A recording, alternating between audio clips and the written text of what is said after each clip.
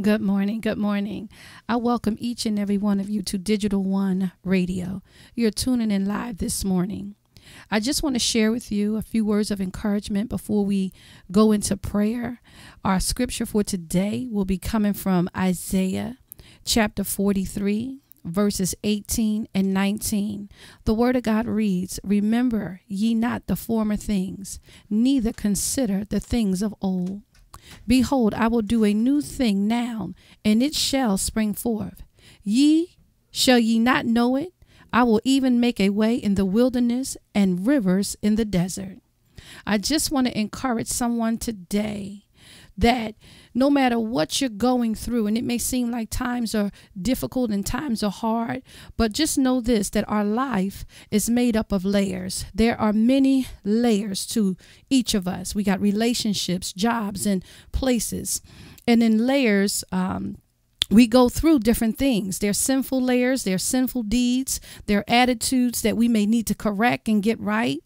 But I just want to just encourage you and let you know that the Lord is peeling back the layers. And there may have been some things that you may have not been made aware of about yourself. And you're learning that beneath those layers, there's some unfinished business that has to take place before you go forward. You may have not been released from relationships. God may have released you, but you have not released those places or those people. You have not left those things behind. And what normally happens is it becomes a hindrance to your growth in the Lord.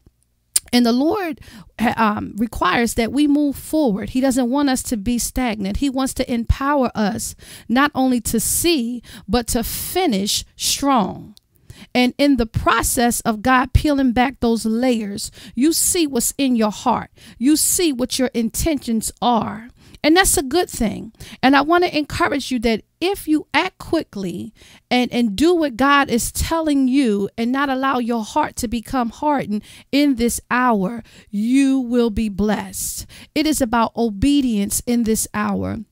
God wants to move you forward into the things that He has for you. God wants to bless you. God wants to prosper you. God wants to do a new thing in your life.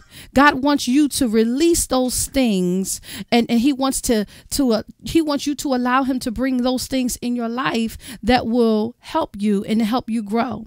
But you got to trust God as you go through the process. It's not always easy letting go. It's not always easy coming out of those things that God told you to come out of. But in this hour, it's crucial that you you trust God um, as He take you through the process.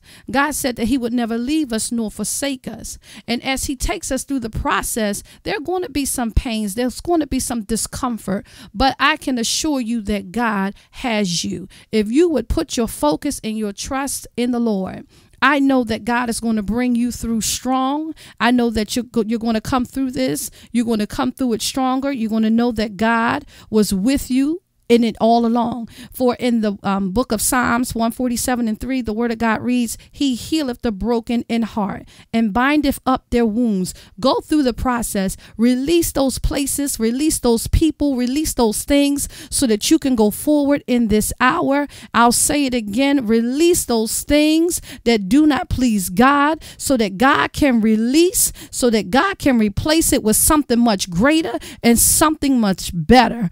There's a benefit benefit in the release, there's a benefit in letting go. We have to trust God in this process. So, no matter what you may be going through, allow God to peel back those layers. Allow God to show you where you need to let go and, and allow Him to come in and do the surgery that needs to be done. You know what I'm talking about. You know that God is ministering to you. You know that He's doing something special and fantastic in your life. But we all have to go through the process. And the process is not always an easy process. But the process is there to grow you up. The process is there to build up your faith and build up your trust with God. Just as you see me on this radio station, it has been a process. It has been a war. But God is doing a new thing. And God wants to not only prosper me, but He wants to prosper those that are around me. That's why this message is coming straight to you. God had to deal with me first, and now I'm giving it out to you. Allow God to take you through the process. I promise you, you won't be disappointed. Let us clear our hearts and clear our minds as we approach the throne of grace. In Jesus' name, is that all right? Thank you, Jesus. Hallelujah. Glory to your name. Father, we come before you this morning in the mighty name of Jesus to say thank you. Father God, we thank you for the process, oh God. For Father God, there were things that we did not understand, oh God. There were questions, oh God. Many may have asked why. How come I have to go through this? But Lord, you told us, oh God, with all thy getting, get an understanding. So, Father God, we come before you this morning asking in the name of Jesus, oh God, that you would forgive each and every one of us, oh God, if we have not let go those things and those people and those places you told us to come out of. For Father God, we're asking in the name of Jesus, oh God, that as we lay our burdens down and as we lay our cares down, Father, that you would comfort us, Father, in the name of Jesus, oh God. For Father God, I ask, oh God, that you would take away the spirit of fear, those that are being hindered, those that are being tormented by the spirit of fear. Father God, I ask in the name of Jesus that they would understand that the spirit of fear is not of you, Father. For you said that you have not given us the spirit of fear, but of power and of love and of a sound mind. For Father God, I pray in the name of Jesus, oh God, that those, oh God, that have been held captive, oh God, that there will be a release, oh God, to those, oh God, in in the name of Jesus, oh God that are bound, oh God, by people. Father God, I'm asking in the name of Jesus, oh God, that those that are connected, oh God, to people, God, that you've released them from years and years and years ago. But because of disobedience and stubbornness, oh God, I ask in the name of Jesus, oh God, that you would raise them up this hour, God, that they will come out from amongst them, oh God. For Father God, I pray against that draining spirit, that manipulating spirit, that spirit that comes to bring confusion, God. Build my sisters and brothers up today, God. Give them strength, oh God, where they're weak, God. In the mighty name of Jesus, oh God. Uh, give them boldness, oh God, where they feel like they have no courage, God. Uh, Lord, I pray, God in the name of Jesus, oh God, that you would move expeditiously, God, uh, that they may see, oh God, that you're doing a new thing in this season, oh God. Uh, Lord, allow them to receive the blessings, oh God. Uh, let the blessings of the Lord overtake them right now. Let the blessings of the Lord overshadow them right now. For Father, they've been in that low place too long. They've been in that dry place too long. I command in the name of Jesus, those that are bound hand and foot, cha- chains and fetters, I command you to be loose right now now in the name of Jesus. Uh, Father God, I pray, God, uh, for a fresh wind, oh God, uh, for the winds of change to come, oh God. Uh, oh Father, in the name of Jesus, let there be a release, oh God, uh, to those that are in prison, oh God, uh, to those that are embedded to sin, oh God. in the name of Jesus, come out of procrastination, come out of low self esteem, come out of self pity. In the name of Jesus, that the Lord can do a quick work, a new thing in you. God said that he would not leave you in the valley. God said that he would not leave you. He said he would never forsake you. Oh God, in the name of Jesus, build up her confidence, oh God, that she may run on and see what the end's going to bring. Lord, build up her strength, oh God, in you, God, in the name of Jesus, oh God. For you told us not to fret. You told us not to worry. So, Father, I pray right now in the name of Jesus that we won't doubt you in this new season. Lord, thank Thank you, Lord. He's tearing down strongholds. Uh, he's causing you to think right now. What is it that He told you to release? Uh, what is it that He told you to let go of? Uh, that you're still holding on to, that you're still harboring? Uh, what is it uh, that you've allowed to stand in the way of your purpose and your destiny? Uh, God said, Fear not, for the end is greater than what you're going to experience right now. right now, what you're experiencing is a stretching. What you're experiencing is growing pangs. God desires to do a new thing. Come out from among them.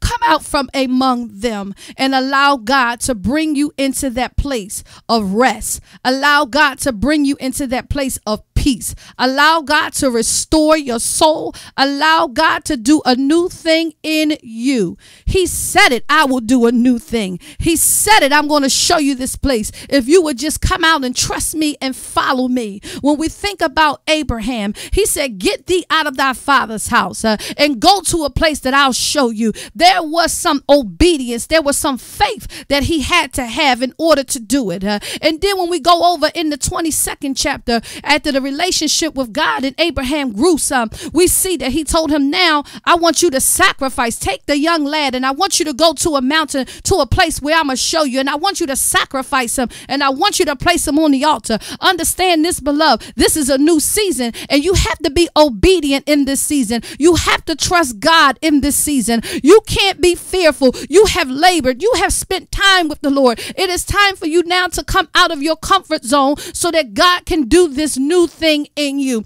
Release it, let it go. For if God gave it to you, God will sustain it. God will make sure that you keep it. You can give it all right back to God.